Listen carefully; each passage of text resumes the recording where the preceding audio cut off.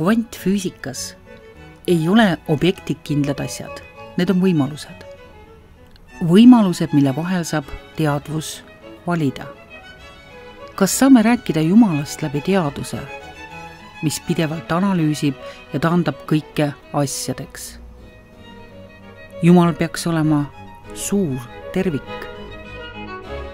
kuidas saab rääkida Jumalast üldse läbi teaduse ja veel vähem leida sellest tõestust? This evolutionary step is completely essential for even basic survivability of human beings on this planet.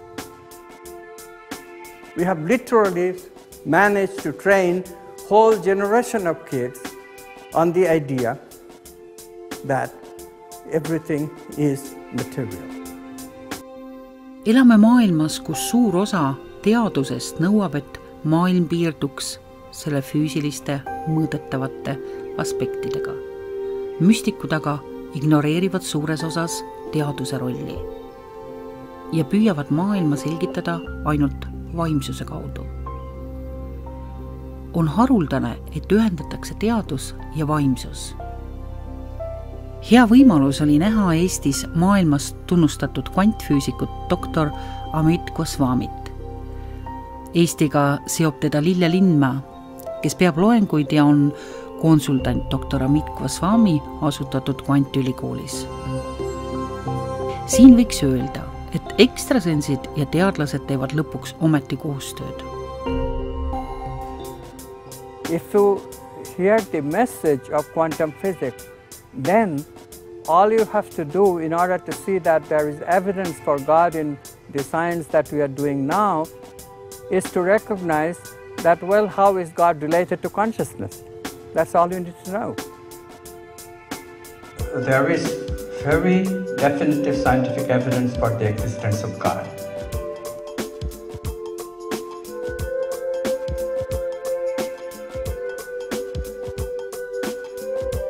And then my question to you. So what are you doing about it?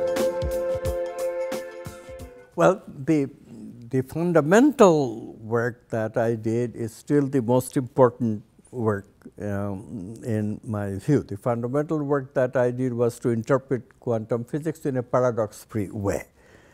And uh, this uh, brought in Heisenberg and von Neumann's vision uh, into proper paradox-free manner in a way that consciousness becomes the fundamental um, uh, being of reality.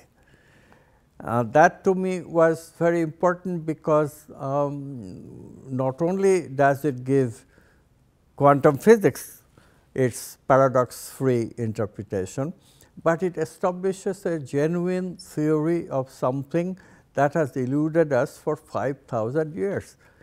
Namely, is there a science behind consciousness? You know, the basic thing that is about, about ourselves that we noticed ever since we learned to speak and we are not a baby anymore is that we experience things, we talk about ourselves as an I, and we obviously are enchanted by this I and what it does. And yet, you know, one of the things that I was always surprised that we pay so much attention to physics, chemistry and biology, but we don't really pay any attention to understanding consciousness. Goswami kirjutab oma uuemas raamatus Kõigi vastuste raamat, et oleme jõudnud aega, et ühendada teadus ja vaimsus. kui käsitleda vaimsust ja teadust tasakaalus, pakub see uut laadi võimalus kõigile ja kõiges. kvantfüüsika annab selleks parimad võimalused